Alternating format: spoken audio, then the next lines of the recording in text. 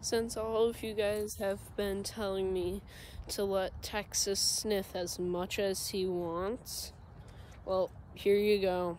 This was only nine houses of distance in a subdivision, so enjoy.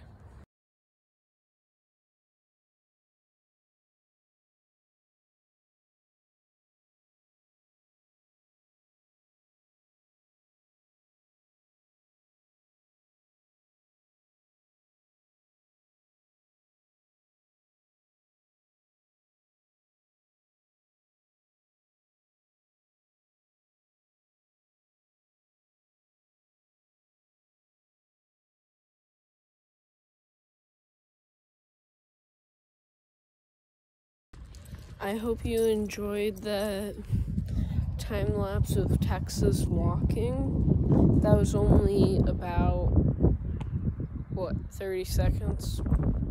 But that was nine. He just pulled my hand. That was nine houses, though. And he was sniffing quite a bit, so I don't want to. He's currently pulling me everywhere. Uh, I just don't want to um, spend 30 hours of my life walking my dog. So, yeah.